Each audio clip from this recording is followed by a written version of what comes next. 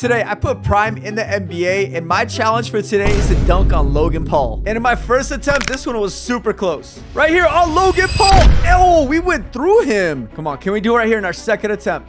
Oh, we're just too quick. We're too quick. Oh, that was close. We got to try it again. And after a few failed attempts, this happened. Come on, Prime. Third attempt. Can we do it right here on Logan Paul? Bam!